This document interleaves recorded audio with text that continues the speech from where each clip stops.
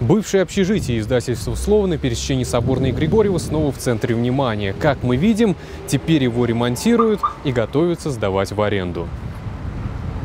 Напомним непростую историю этого здания. По информации ряда СМИ, в свое время это общежитие продали депутату областной думы Алексею Сергееву, который перепродал его своей жене. Собственникам квартир в этом доме должны были предоставить новое жилье. Однако им просто перекрыли коммуникации и людям пришлось покинуть свой дом. Таким образом, здание в центре города постепенно превратилось в место отдыха для бомжей. На сегодняшний день часть сооружения ремонтируют и хотят отдать под аренду. Мы позвонили по номеру, указанному на здании. У нас сейчас идет поэтапный ремонт, то есть мы сейчас ищем основного арендатора на, на первый этаж, там он где-то метров 380 надо ждать.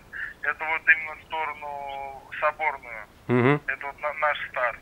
Вот. И также собираем арендаторов в базу на второй, третий этаж. А стороной бывшего общежития по улице Григорьева пока никто не занимается. Впрочем, как и людьми, которые так и не получили новые квартиры. Роман Козлов, Анатолий Милосердов, Открытый канал.